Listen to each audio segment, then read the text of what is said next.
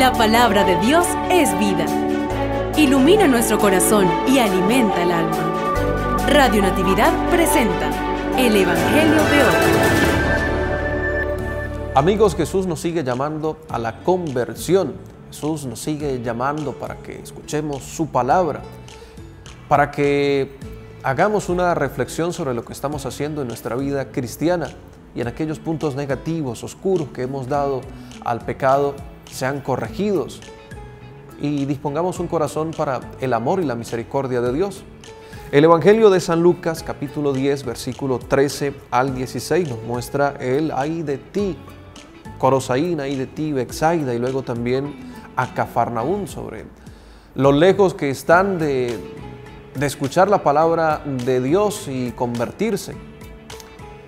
Les advierte esto Jesús, les hace esta advertencia por el comportamiento que tenían, por la lejanía que tenían de Dios, porque le habían rechazado.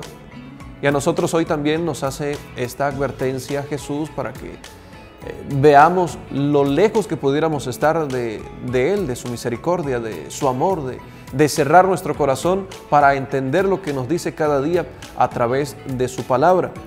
Así podemos en este Evangelio ver cómo Jesús hace una advertencia, hace una invitación a la penitencia y luego también hace una invitación a la escucha.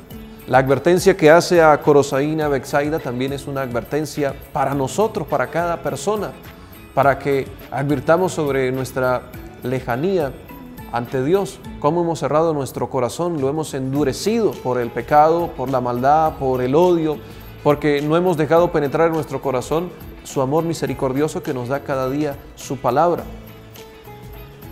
Y por eso Jesús le dice a Corosaín, a Bexaida y también a nosotros, si en las ciudades de Tiro y Sidón se hubieran realizado los prodigios que se han hecho en ustedes, refiriéndose a Corosaín y a Bexaida por los milagros, por los prodigios, ya ustedes hace mucho tiempo hubieran hecho penitencia, hubieran cubierto de sayal y de ceniza en señal de arrepentimiento por los pecados. Y así también nos invita hoy a la penitencia.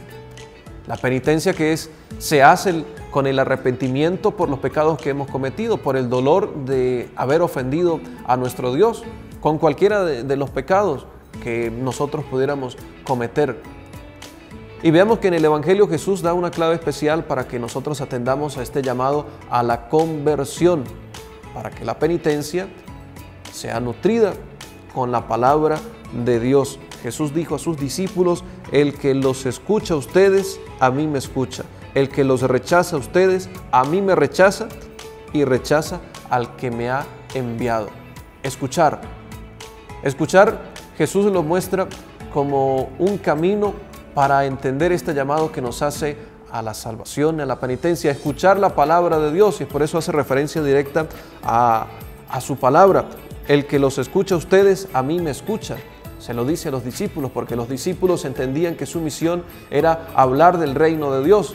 Y nuestra misión hoy día también es hablar del reino de Dios y hablarnos a nosotros mismos, a nuestro corazón, de la presencia del reino de Dios, que a pesar de las dificultades, que a pesar de los problemas, que a pesar del pecado que hemos cometido, Jesús nos llama a vivir la penitencia y a escuchar su palabra.